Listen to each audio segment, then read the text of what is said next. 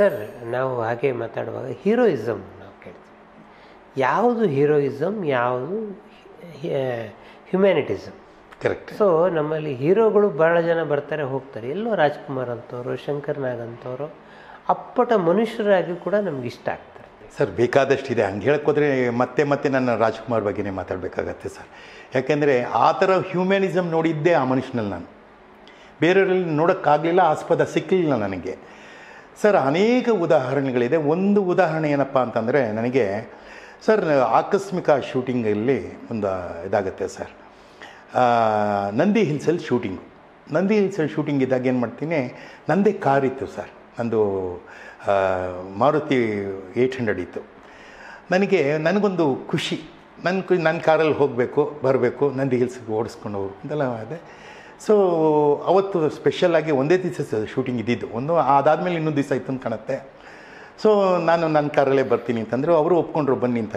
Sir ನಾನು ಬೆಳಗ್ಗೆ ಆರೂವರೆ ಏಳು ಗಂಟೆಗೆ ಭಾಳ ಖುಷಿಯಿಂದ ಜೋರಾಗಿ ಹೋಗ್ತಾ ಇದ್ದೀನಿ. ಹೋಗ್ತಾ ಇದ್ದಾಗ ನನ್ನ ಎದುರುಗಡೆಗೆ ಒಂದು ಅಂಬಾಸಿಡರ್ ಕಾರ್ ಹೋಗ್ತಾ ಇರುತ್ತೆ ಸರ್. ಆವಾಗಲೇ ಇಷ್ಟೊಂದು ಟ್ರಾಫಿಕ್ ಇರಲಿಲ್ಲ. ಸರಿ ಸರಿ. ಅದನ್ನು ನೋಡಿದಾಗ ಹಿಂದ್ಗಡೆ ನೋಡಿದಾಗ ಅದು ಯಾವುದೋ ನಮ್ಮ ಶೂಟಿಂಗ್ನವ್ರ ಗಾಡಿ ಅಂತ ಗೊತ್ತಾಗ್ಬಿಡುತ್ತೆ. ನಮ್ಗೆ ಅದು ಅಂಬಾಸಿಡರ್ ಗಾಡಿ ಗೊತ್ತಾಗುತ್ತೆ. ಅದು ಯಾರು ಕೂತಿದ್ದಾರೆ ಅಂತ ಗೊತ್ತಾಗಲಿಲ್ಲ. ಸ್ವಲ್ಪ ಮುಂದೆ ಹೋಗ್ತೀನಿ ಸರ್. ಹಿಂದೆ ಹೋಗಿ ನನ್ನ ವ್ಯೂ ರಿಯರ್ ವ್ಯೂನಲ್ಲಿ ನೋಡಿದಾಗ ಗೊತ್ತಾಗುತ್ತೆ ರಾಜ್ಕುಮಾರ್ ಕೂತ್ಬಿಟ್ಟಿರ್ತಾರೆ. ನನಗೆ ಓವರ್ಟೇಕ್ ಮಾಡಿಬಿಟ್ಟಿದ್ದೀನಿ ಗಾಡಿನ ಆಲ್ರೆಡಿ ಈಗ ನನ್ನ ಒಳಗಡೆ ಪುಕ್ ಪುಕ ಶುರು ಆಗಿಬಿಡ್ತು. ಏನಯ್ಯ ನಾನು ರಾಜ್ಕುಮಾರ್ ಗಾಡಿ ಓವರ್ಟೇಕ್ ಮಾಡಿಬಿಟ್ಟೆ. ಅಲ್ಲಿ ಹೋದರೆ ನನ್ನ ಏನಾದರೂ ಅಂದರೆ ಅಂದ್ಬಿಟ್ಟು ನಾನೇನು ಮಾಡ್ತೀನಿ ಸ್ವಲ್ಪ ದೂರ ಹೋಗ್ಬಿಟ್ಟು ಗಾಡಿ ನಿಲ್ಲಿಸ್ಬಿಡ್ತೀನಿ. ಅದಾದಮೇಲೆ ಅದು ಪಾಸ್ ಹಾಕ್ಕೊಂಡು ಹೋಗಲಿ. ನಾನು ಆಮೇಲೆ ಹೋದರೆ ಆಯಿತು ಅಂತ ಗಾಡಿ ನಿಲ್ಲಿಸಿರ್ತೀನಿ ಅದು ನಡೆಯೋದು ಸೀದಾ ಹೋದರೆ ಚಿಕ್ಕಬಳ್ಳಾಪುರಕ್ಕೆ ಹೋಗೋ ಒಂದು ರಸ್ತೆ ಇನ್ನೊಂದು ನಂದಿ ಹಿಲ್ಸ್ಗೆ ಹೋಗೋ ಅಂತ ರಸ್ತೆ. ದೊಡ್ಡಬಳ್ಳಾಪುರ ಕಡೆ ಹೋಗುವಂಥ ರಸ್ತೆ. ಇವಾಗ ಡಿವಿಯೇಷನ್ ಈ ಥರ ಇತ್ತು. ಆ ಡಿವಿಯೇಷನ್ ಜಾಗದಲ್ಲಿ ಅದಾಗಿರುತ್ತೆ ಸರ್ ಅದು. ನಾನೇನಂತೆ ಅಂದ್ಕೊಂಡು ಮುಂದೆ ಹೋದೆ ನಿಲ್ಲಿಸ್ದೆ. ಸೊ ಒಂದು ಕಾಲು ಗಂಟೆ ಆಯಿತು ಅರ್ಧ ಗಂಟೆ ಆಯಿತು ಗಾಡಿನೇ ಬರಲ್ಲ ಸರ್ ಅದು. ಅಯ್ಯೋ ನನ್ನ ಹಿಂದೆ ಇದ್ದ ಗಾಡಿ ಬರಲಿಲ್ವಲ್ಲ ಯಾಕೆ ಅಂತ ನಾನು ಅಂದ್ಕೊಂಡೆ ನನಗೊಂದು ಡೌಟ್ ಬಂದ್ಬಿಟ್ಟು ಇರಲಿ ಏನಕ್ಕೆ ಅಂದ್ಬಿಟ್ಟು ತಿರ್ಗಾ ರಿವರ್ಸ್ ಮಾಡ್ಕೊಂಡು ಹಾಗೇ ಬಂದೆ ಸರ್. ಬರ್ತೀನಿ ನೋಡ್ತೀನಿ ರಾಜ್ಕುಮಾರ್ ಗಾಡಿ ಕೆಟ್ಟೋಗ್ಬಿಟ್ಟಿದೆ. ಓಹೋ ಹಾಂ. ಅವ್ರು ಕೂತಿದ್ದ ಗಾಡಿ ಕೆಟ್ಟೋಗ್ಬಿಟ್ಟಿದೆ. ಅವ್ರು ಪಾಪ ಕಾ ಗಾಡಿನಲ್ಲೇ ಕೂತ್ಕೊಂಡು ಮುಂದೆ ಏನು ಮಾಡಬೇಕು ಅಂತ ಅವ್ರು ಯೋಚನೆ ಮಾಡ್ತಾಯಿದ್ರು ಅಷ್ಟರೊಳಗೆ ನಾನು ಬಂದು ನೋಡ್ಬಿಟ್ಟು ಅಣ್ಣ ನಮಸ್ಕಾರ ಅಣ್ಣ. ಅವ್ರು ನನ್ನ ನೋಡಿಲ್ಲ ಆ್ಯಕ್ಚುಲಾಗಿ ನಾವು ಬೈಪಾಸ್ ಆಗಿದ್ದು ಅವ್ರು ನೋಡಿಲ್ಲ. ಯಾರೂ ನೋಡಿಲ್ಲ. ಸರಿ ಬಂದ್ಬಿಟ್ಟು ಇದು ಈ ಥರ ಗಾಡಿ ಕೆಟ್ಟೋಗ್ಬಿಟ್ಟಿದೆ ಅಂತ ಹೌದಾ ಅಣ್ಣ? ಆಯ್ತಣ್ಣ. ಬ ನನ್ನ ಗಾಡೀಲಿ ಬರ್ತೀರಾ ಅಣ್ಣ ಅಂತ. ಪಾಪ ಅದಕ್ಕೆ ಆಯ್ತೇನು ಬನ್ನಿ. ಅಂತಂದರು. ನಾನು ಪಾಪ ಇಳಿದ್ರು. ಇಳಿದ್ಬಿಟ್ಟು ನನ್ನ ಕಾರ್ ಹತ್ರ ಬರ್ತಾರೆ. ನಂದು ಗಾಡಿ ಇದು ಡೋರ್ ತೆಗೆದ್ಬಿಟ್ಟು ಹಣ ಕೂತ್ಕೊಳ್ಳಿ ತುಂಬ ಗಲೀಜಿದೆ ಅಂದರೆ ನನ್ನ ಕಾರ್ ಅಷ್ಟು ನೆಟ್ಟಿರಲಿಲ್ಲ ತುಂಬ ಗಲೀಜು ಒಂಥರ ಗೊತ್ತಲ್ಲ ಕ್ಲೀನ್ ಗೀನ್ ಮಾಡಿರಲಿಲ್ಲ ಅಂತ. ಅವರು ಶುಭ್ರವಾದ ವೈಟ್ ಆ್ಯಂಡ್ ಬಿಳಿ ಶರ್ಟು ಬಿಳಿ ಪಂಚೆ ಹಾಕ್ಕೊಂಡು ಇದ್ರು. ಅದಕ್ಕೊಂದು ಮಾತು ಹೇಳ್ತಾರೆ ಸರ್ ಅವರು. ಹಣ ನಿಮಗೆ ಇದು ಅಡ್ಜಸ್ಟ್ ಆಗುತ್ತೋ ಇಲ್ಲ ಅಂತ. ಅಯ್ಯೋಯ್ಯೋ ಅಯ್ಯೋ ಬಿಡಿ ಬಿಡಿ ಬಿಡಿ. ಮೊದಲೆಲ್ಲ ನಮ್ಮನ್ನ ಕುರಿ ತುಂಬ್ದಂಗೆ ತುಂಬ್ಕೊಂಡು ಕರ್ಕೊಂಡು ಹೋಗೋರು. ಈಗ ದೇವ್ರ ಪಾಲ್ಗೆ ನನಗೇಂತ ಒಂದು ಸೀಟ್ ಇದೆಯಲ್ಲ? ಅಂತ ಹೇಳೋಂಥ ಒಂದು ಸರ್ ನನಗೆ ಒಂಥರ ಆಗ್ಬಿಡ್ತು. ಅವ್ರನ್ನ ಜಾಗೃತೆಯಿಂದ ಕರ್ಕೊಂಡು ನಂದು ಹಿಲ್ಸ್ಗೆ ಹೋಗ್ತೀನಿ. ಅದೊಂದು ನನ್ನ ಇಡೀ ಜೀವಮಾನದಲ್ಲಿ ರಾಜ್ಕುಮಾರ್ನ ನಾನು ಕರ್ಕೊಂಡೋದ್ನಲ್ಲ ನಂದಿ ಹಿಲ್ಸ್ಗೆ ಅಂತ. ತುಂಬ ಖುಷಿ ಆಯಿತು. ಅವರು ದಾರಿ ಉದ್ದಕ್ಕೂ ಒಳ್ಳೆ ಮಾತುಗಳನ್ನ ಹೇಳ್ತಾ ಬಂದರು. ಇದಾದ ಮೇಲೆ ಅದೇ ನಂದಿ ಹಿಲ್ಸಲ್ಲಿ ಇನ್ನೊಂದು ಘಟನೆ ನಡೆಯುತ್ತೆ ಸರ್. ಅದು ನೆಕ್ಸ್ಟ್ ಡೇ ಅಂತ ಕಾಣುತ್ತೆ. ಸ್ವಲ್ಪ ರಾಜ್ಕುಮಾರ್ ಜೊತೆ ಕೂತಿದ್ನಲ್ಲ ಆ ಒಂದು ಲಿಬರ್ಟಿನಲ್ಲಿ ನಾನೇನು ಮಾಡ್ತೀನಿ ನೆಕ್ಸ್ಟ್ ಡೇ ಹೋದಾಗ ಒಂದು ಕೆಂಪು ಶರ್ಟು ಮತ್ತು ಒಂದು ಕೆಂಪು ವೈಟ್ ಪ್ಯಾಂಟು ಹಾಕ್ಕೊಂಡು ಶೂಟಿಂಗ್ ಹೊರಡ್ತೀನಿ ಸರ್. ಎಲ್ಲರೂ ಹೇ ಏನಮ್ಮ ಅಂತ ಮಾಡೋಕ್ಕೆ ಕಾಣಿಸ್ತೆ ಹೀರೋ ಹೀರೋ ಅಂತ ಎಲ್ಲರೂ ಅಂತಾರೆ. ನನಗೂ ಖುಷಿ ಆಗ್ಬಿಡುತ್ತೆ. ಆಮೇಲೆ ಅವರು ಕಾಸ್ಟ್ಯೂಮರು ಒಂದು ಡ್ರೆಸ್ ತಂದು ಕೊಡ್ತಾರೆ ಸರ್. ನಾನು ನೋಡ್ತೀನಿ. ಏ ಬಡಪ್ಪ ಇವತ್ತು ನಂದು ನಂದೇ ಡ್ರೆಸ್ ಹಾಕೊಂಡ್ಬಿಡ್ತೀನಿ. ಚೆನ್ನಾಗಿದೆ ಅಂತ ಎಲ್ಲರೂ ಹೇಳ್ತಾ ಇದ್ದಾರೆ ಅಂತ. ಆಮೇಲೆ ಪರ್ಮಿಷನ್ ಬೇಕಲ್ಲ ಸರ್. ನಾಗಾಭರಣನೇ ಡೈರೆಕ್ಟ್ರು ಏನಪ್ಪ ನಾನು ಇದೇ ಶರ್ಟ್ ಹಾಕೊಳ್ಳಂತ. ಯಾಕೋ ಹಾಕೋ ಅಂತಂದ. ಆಮೇಲೆ ಇಲ್ಲ ಅಣ್ಣ ಅಂತ ಚೆನ್ನಾಗಿರ್ತಾನೆ ಇಲ್ಲ ಅಣ್ಣ ಇದು ಕಾಸ್ಟ್ಯೂಮ್ ಇದಿದೆ ಇದನ್ನೇ ಹಾಕ್ಕೋಬೇಕು ಅಂತಾರೆ. ಇದೇನಪ್ಪ ರಿಪೀಟ್ ಏನಾದರೂ ಇದೆ ಯಾಕಂದ್ರೆ ನಾವು ಅಸಿಸ್ಟೆಂಟ್ ಡೈರೆಕ್ಟರ್ ದುಡಿದಿರ್ತೀನಲ್ಲ ಅದರಿಂದ ನನಗೆ ಇದಕ್ಕೇನಾದರೂ ಕಂಟಿನ್ಯೂಟಿ ಇದೆಯಾ? ಇಲ್ಲ ತಾನೆ. ಹಂಗೂ ಏನಾದ್ರು ಕಂಟಿನ್ಯೂಟಿ ಇದೆ ಇದನ್ನೇ ಹಾಕ್ಕೊಂಬರ್ತೀನಿ ಏನು ಯೋಚನೆ ಮಾಡ್ಬೇಡ. ಅಂತ ಹೇಳ್ತೀನಿ. ಆಮೇಲೆ ನಾಗವರ್ಣ ಓಕೆ ಅಂದ್ಬಿಡ್ತಾನೆ. ಹಾಕ್ಕೋತೀನಿ. ರಾಜ್ಕುಮಾರ್ ಬರ್ತಾರೆ ಸರ್. ಹಾಂ. ನನ್ನ ನೋಡ್ತಾರೆ. ನೋಡ್ಬಿಟ್ಟು ಭಾಳ ಚೆನ್ನಾಗಿದ್ದೀರಾ. ತುಂಬ ಲಕ್ಷಣವಾಗಿ ಕಾಣಿಸ್ತಾ ಇದ್ದೀರಾ. ಅಂತ ಹೇಳ್ತಾರೆ. Shooting ಆಗೋಗ್ಬಿಡುತ್ತೆ sir.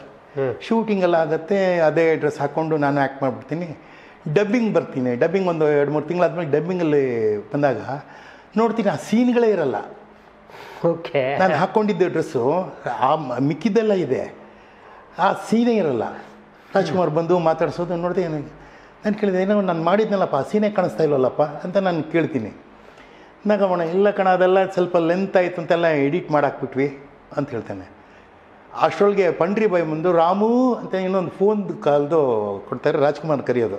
ಅದು ಅವ್ರ ಹೆಸರೇನೋ ಇದೆ ಗೊತ್ತಿಲ್ಲ, ಅದನ್ನು ಮರ್ತ್ಬಿಟ್ಟಿದ್ದೀನಿ ಸೊ ನಾನು ಎಲ್ಲಪ್ಪ ಯಾವುದು ಅಲ್ಲಿಂದ ನಡ್ಕೊಂಡು ಬಂದು ಫೋನ್ ಕೊಡೋದಕ್ಕೆ ಇಷ್ಟು, ನೋಡಿ ಇದೇ ಎಡಿಟರ್ ತಲೆ ಅನ್ನೋದು.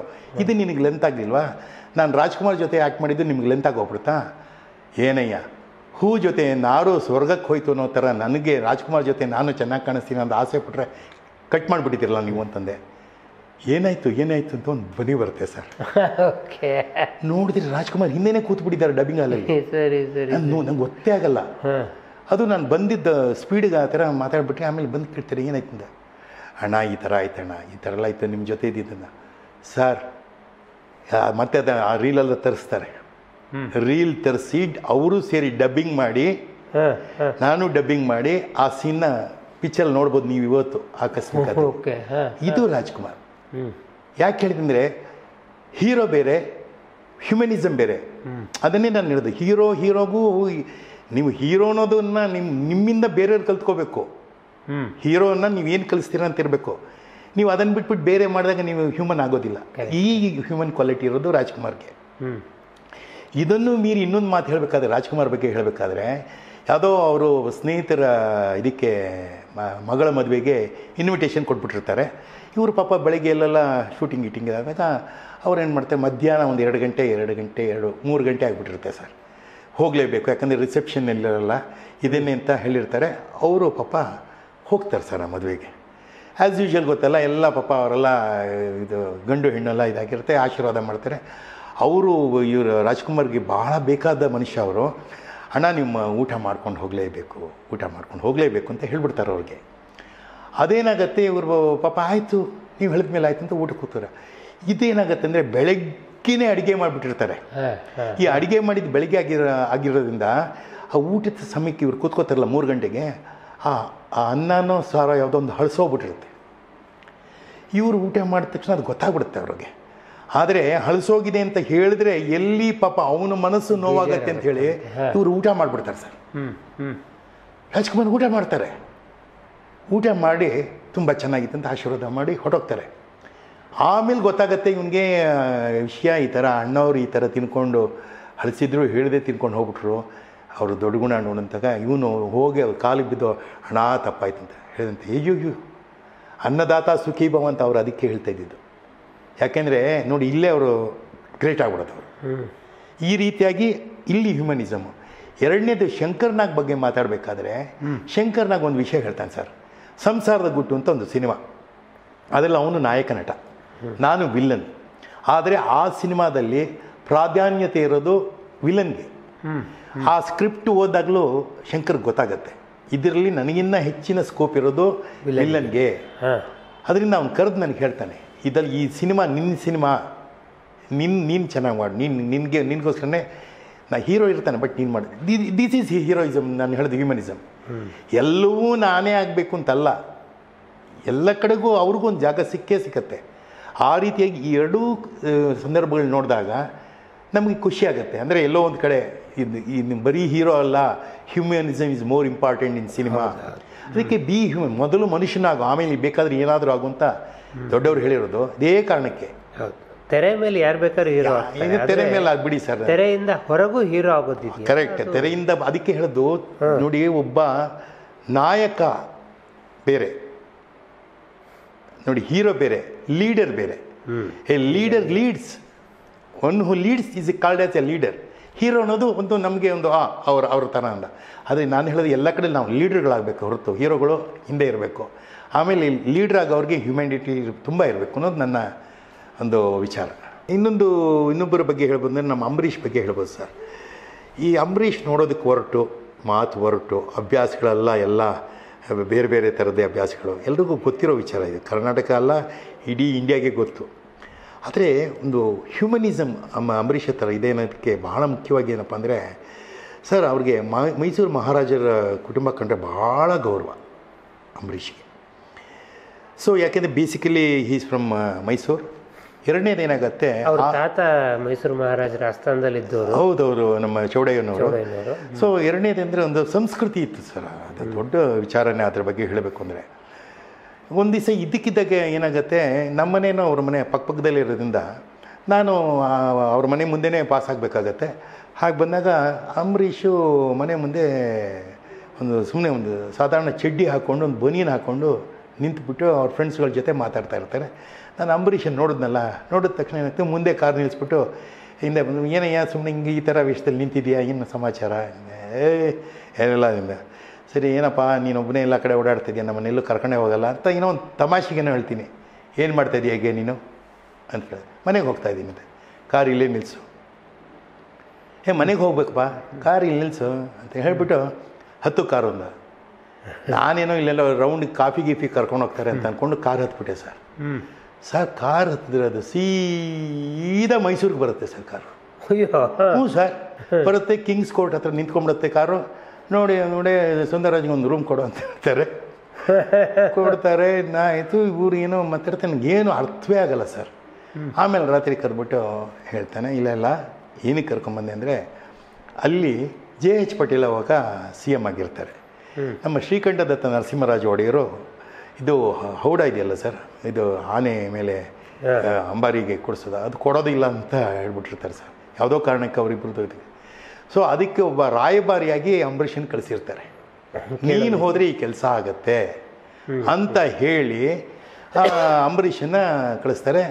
ಅಂಬರೀಷ ಹೋಗೋಕೆ ರೆಡಿಯಾಗಿ ನಿಂತಿರೋದಲ್ಲಿ. ನೋಡಿ ಎಂಥ ಸಂದರ್ಭಗಳು ನಮಗೆ ಸಿಗತ್ತೆ ಅನ್ನೋಕ್ಕೆ ನಾನು ಹೇಳೋದು. ಸೊ ಅಲ್ಲಿ ಹೋಗ್ತೀನಿ ಆಮೇಲೆ ನನಗೆ ಎಲ್ಲಿ ಹೋಗ್ತಾ ಇದ್ದೀಪ್ಪ ಅಂದ್ಬಿಟ್ಟು ನೋಡ್ತಾರೆ. ನಾವು ಹೋಗಿರೋದು ಹಿಂದಿನ ದಿವಸ ಹೋಗಿರ್ತೀವಿ. ರಾತ್ರಿ ಅಂದರೆ ಶನಿವಾರ ರಾತ್ರಿ. ಮಾರನೇ ದಿವಸ ಸಂಡೇ. ಸಂಡೇ ದಿವಸ ಎಲ್ಲ ಮಲ್ಲಿಗೆ ಎದ್ದೆ ಎಲ್ಲ ಫ್ರೆಶ್ ಆಗಿಬಿಟ್ಟು ಏನಾಗುತ್ತೆ ಅವ್ರನ್ನ ಮೀಟ್ ಮಾಡೋದು ಅಂತಾಗುತ್ತೆ ಸಂಡೇ ನಾಲ್ಕೂವರೆಯಿಂದ ಆರು ರಾಹುಕಾಲ ಅದಕ್ಕೆ ಮುಂಚೆ ಮೀಟ್ ಮಾಡಬೇಕು ಅಂತ. ಸೊ ಅವರು ಒಂದು ಟೈಮ್ ಕೊಡ್ತಾರೆ ಇಂಥ ಟೈಮಿಗೆ ಬನ್ನಿ ಅಂತ. ಸರ್ ನನ್ನ ಲೈಫಲ್ಲೇ ಪ್ರಪ್ರಥಮ ಬಾರಿಗೆ ಸರ್ ಮೊದಲನೇ ನಾನು ಇನ್ನೂ ಕೂಡ ಮರೆಯಲ್ಲ. ಸರ್ ನಾನು ಅಂಬರೀಷ್ ಜೊತೆ ಅರಮನೆ ಒಳಗೆ ಎಂಟ್ರ್ ಆಗ್ತೀನಿ ಸರ್. ಹ್ಞೂ ಹೋಗ್ತೀನಿ ಅಲ್ಲೊಂಥರ ನನಗೆ ಮೈಯೆಲ್ಲ ರೋಮಾಂಚನ ಆಗ್ಬಿಡುತ್ತೆ ನನಗೆ. ಏನಯ್ಯ ನಾನು ಯಾವತ್ತೂ ಇಷ್ಟು ಹತ್ತಿರದಿಂದ ನಾವು ಒಂಥರ ಎಕ್ಸಿಬಿಷನ್ ಥರ ನೋಡ್ತೀವಿ. ಆದರೆ ಹತ್ತಿರ ಹೋಗಿ ಮಹಾರಾಜನ ನೋಡ್ತೀನಿ ನಾನು ನನ್ನ ಕನಸು ಮನಸ್ಸಲ್ಲೂ ಇರಲ್ಲ. ಇನಿ ಯಾಕೆಂದರೆ ಆ, ಮಹಾರಾಜರು, ನಲ್ವಾಡಿ ಕೃಷ್ಣರಾಜ ಒಡೆಯರು ಜಯಚಾಮರಾಜೇಂದ್ರ ಒಡೆಯರು ಈಗ ಶ್ರೀಕಂಠದತ್ತ ನರಸಿಂಹರಾಜ ಒಡೆಯರು. ಏನು ಸರ್ ಇದು? ಮೈಸೂರು ಅರಮನೆಗೆ ನನ್ನನ್ನು ಕರ್ಕೊಂಡು ಹೋಗ್ತಾಯಿದೆ ಅಂತ ಎಲ್ಲ ರೆಡಿಯಾಗಿ ಹೋಗ್ತೀವಿ. ಒಳಗಡೆ ಹೋದರೆ ಕತ್ತಿ, ಗುರಾಣಿ, ಆ ಫೋಟೋ ಈ ಫೋಟೋ ಭಯಂಕರವಾದ ಫೋಟೋಗಳನ್ನು ಹಾಕಿ ಒಳಗಡೆ ಎಂಟ್ರಾಗಿ ಅದೊಂದು ಲಿಫ್ಟಲ್ಲಿ ಹೋಗ್ತೀವಿ ಸರ್. ಲಿಫ್ಟಲ್ಲಿ ಹೋಗಿ ಕೂತ್ಕೊಂಡು ಎಲ್ಲ ಆಗತ್ತೆ. ನಾವು ಕೂತ್ಕೊಂಡಿರುವಾಗ ಒಂದು ಅಜಾನುಬಾಹು ವ್ಯಕ್ತಿ. ಭಾಳ ಸಿಂಪಲ್ ಆಗಿ ಒಂದು ಲುಂಗಿನಲ್ಲೇ ಹುಕ್ಕೊಂಡು ಬಿಡ್ತಾರೆ ಸರ್ ನರಸಿಂಹ ಇದು ಶ್ರೀಕಂಠದಂಥ ನರಸಿಂಹರಾಜ ಅವರು. ನಾವೆಲ್ಲ ಅವ್ರನ್ನ ಅಂಬಾರಿ ಮೇಲೆ ಇದ್ರ ಮೇಲೆ ರಾಜರಾಗಿ ಹಿಂಗೆ ಇಟ್ಕೊಂಡು ನೋಡಿರೋದು. ಬಟ್ ಆರ್ಡಿನರಿ ಮನುಷ್ಯನಾಗಿ ಬರ್ತಾರೆ ಬಂದು ಕೂತ್ಕೊಂಡಾಗ ಏನು ಅಂಬರೀಷ್ ಹೇಗಿದ್ದೀರಾ?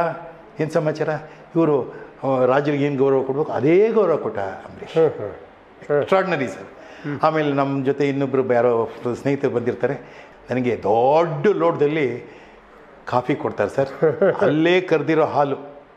ಅಲ್ಲೇ ಮಾಡಿರೋ ಕಾಫಿ. ಅದು ನಿಜವಾಗ್ಲೂ ನನ್ನ ಸೌಭಾಗ್ಯ ಅಂತ ಅನ್ಕೋತೀನಿ. ಯಾಕೆಂದರೆ ರಾಜರ ಕಣ್ಣು ಬಿದ್ದುಬಿಟ್ಟಿದೆ ನಮ್ಮ ಮೇಲೆ ಅಂತ ಅಂದ್ಕೊಂಡು ಕಾಫಿ ಕುಡಿದು ಅವ್ರ ಜೊತೆ ಮಾತಾಡ್ಕೊಂಡು ಬಂದಾಗ ಆಗ ಒಂದು ವಿಷಯ ಹೇಳ್ತಾರೆ. ಈ ಥರ ನಾನು ಬಂದಿರೋದು ಹೌಡ ನೀವು ಕೊಡಬೇಕು. ಯಾಕೆಂದರೆ ಮೈಸೂರು ದಸರಾ ಹಬ್ಬ ಹೌಡ ಇಲ್ಲದೆ ನಿಲ್ಲಬಾರ್ದು. ತಾಯಿ ಚಾಮುಂಡೇಶ್ವರಿ ಅದರಲ್ಲಿ ಇರಬೇಕು, ನೋಡಬೇಕು ಅನ್ನೋದು. ಅದು ಅಂಬರೀಷ್ ಒಬ್ಬನ ಕೈಯಲ್ಲಿ ಆಗತ್ತೆ ಸರ್. ನೋಡಿ ಯಾವ್ಯಾವ ಕೆಲಸ ಯಾರ್ಯಾರ ಕೈಯಲ್ಲಿ ಮಾಡಿಸ್ಬೇಕು ಅಂತ ದೇವರು ನಿಗದಿತ ಮಾಡಿರ್ತಾನೆ ಅಂದರೆ ಅಂಥ ಒಂದು ಸೌಭಾಗ್ಯ ನನಗೆ ಸಿಕ್ಕಿದ್ದು ಆ, ಅಂಬರೀಷಿನ ಜೊತೆಗೆ ಹೋಗಿದ್ದು. ಅದಕ್ಕೆ ಹೇಳ್ತೀನಿ, ಹೀರೋಯಿಸಮ್ಗಿಂತ ಹ್ಯೂಮನಿಸಮ್ ಇಲ್ಲಿ ಹೆಚ್ಚು ಕಾಣಿಸುತ್ತೆ. ಯಾಕೆಂದರೆ ಪ್ರತಿ ಸಂದರ್ಭದಲ್ಲೂ ಅದು ಕರ್ನಾಟಕ ಕಲಾವಿದರ ಸಂಘಕ್ಕೆ ಜಾಗ ಮಾಡಿಕೊ ಕೊಡೋ ವಿಷಯದಲ್ಲಾಗಲಿ ಅಥವಾ ಈ ಥರದನ್ನ ಇದು ಭಾಳ ಅದ್ಭುತವಾದ ಸರ್. ಅದಕ್ಕೆ ನಾನು ಹೇಳಿದ್ದು ಮಹಾರಾಜ ಅಥವಾ ಮುಖ್ಯಮಂತ್ರಿ ಆಗೋ ಎಲ್ಲ ಗುಣಗಳಿದ್ದಂಥ ಮೇಧಾವಿ ಅಂಬರೀಷು ನಮ್ಮನ್ನು ಬಿಟ್ಟು ಹೋದ್ನಂತ ಬೇಜಾರಷ್ಟೇ.